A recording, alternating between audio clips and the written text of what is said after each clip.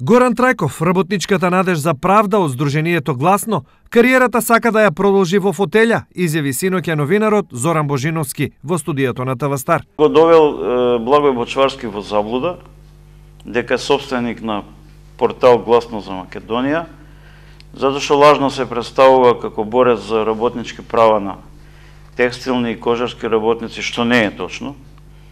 Не се бори, затоа што дури излобирал, се пријавувал, се фалел по штип, се покажувал како директор и главен одговорен уредник на тој медиум. И дури чека од Благој Бочварски сега да го доведе у заблуда и да го именува за директор на Средно музичко училиште. Mm -hmm. Што ќе биде второ доведување у заблуда за 10-15 дена на Бочварски.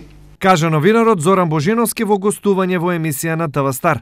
Оваа изјава е изненадување, бидејќи досега Трајков беше енергичен застапник на работниците во сите спорови и кај ни влеваше чувство на сигурност. Поради ова, неговиот телефон звони без прекен и важи за човек кој во секој момент знае што се случува во секоја поголема фирма.